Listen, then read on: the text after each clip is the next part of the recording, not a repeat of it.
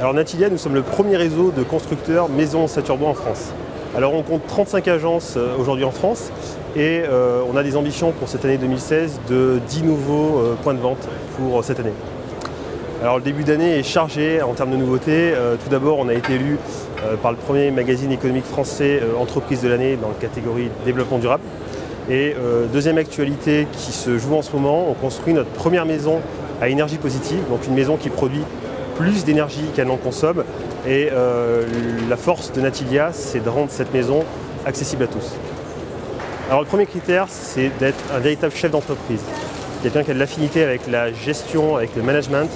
Euh, ensuite, on a de plus en plus de professionnels de la construction du bâtiment qui nous rejoignent.